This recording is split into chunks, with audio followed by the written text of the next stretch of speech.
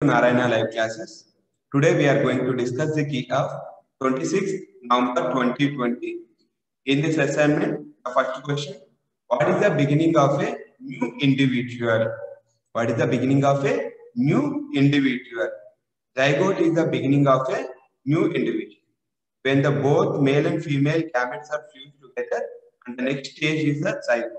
Zygote acts as a new individual of the life. Next one, what happens during fertilization? What happens during fertilization? The process of fertilization is the meeting of an egg cell from the mother and a sperm cell from the father. As we said, the fusion of both male and female gametes are called fertilization. So the sperm which is released from the male used to fuses with the egg cell and copulate with uh, fuses with the egg cell and forms the fertilization process. Next one, the new individual inherit some characters from the dash and some characters from the dash. So the new individual which is formed used to get the characters from both the mother as well as father.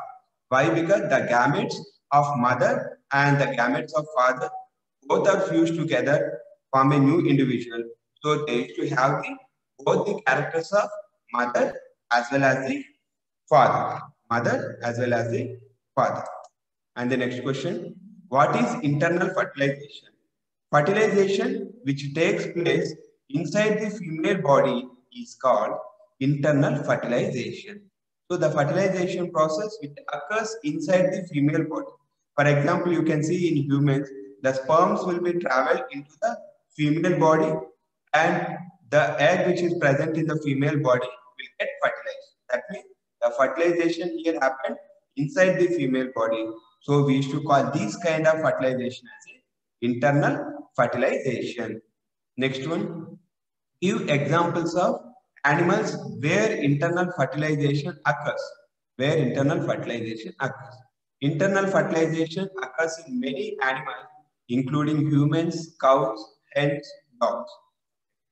The next one, state one region where some women are unable to bear babies. So what happens? The babies are not born to. That means uh, they're unable to become pregnant. What is the reason? Uh, because when oviducts are blocked in some women, they are unable to bear babies because sperms cannot reach the egg for fertilization. So what happens here? When the oviducts are closed, so the movement of egg won't be there and as well as the reaching of sperm towards the egg will be barrier. It may become a barrier. So this barrier cannot be avoided. So it results in the unfertilization.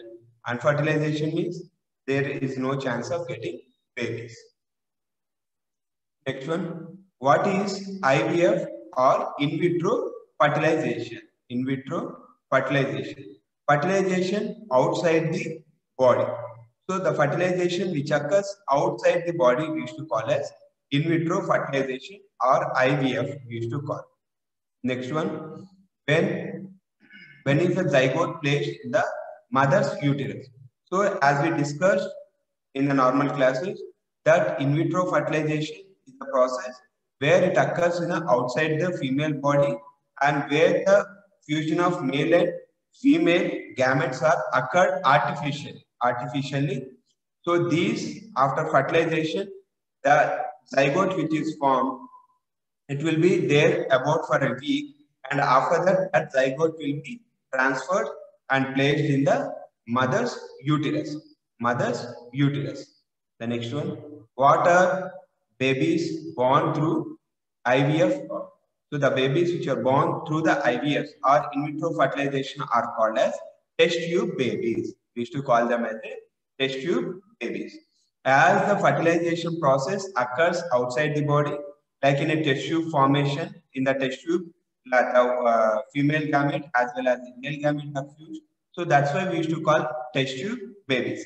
But don't think that the test tube babies in essence, the baby will be grown in the test tube. The baby won't be grown in the test tube. The baby will be grown in the mother's womb itself, uterus itself. But the fertilization will occur in the outside the bodies, outside the body. That's why we used to call it as a tissue bed. Tissue baby.